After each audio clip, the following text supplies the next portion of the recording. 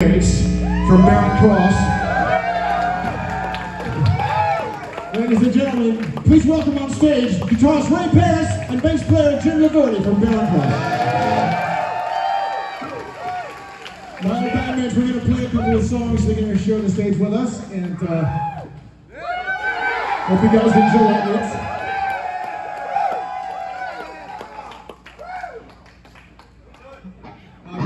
You know, I couldn't help myself. I've been letting the cat out of the bag anyway. Don't know these guys. It's Mr. Ray Parris over there. Let's hear it for Jim LaVerde.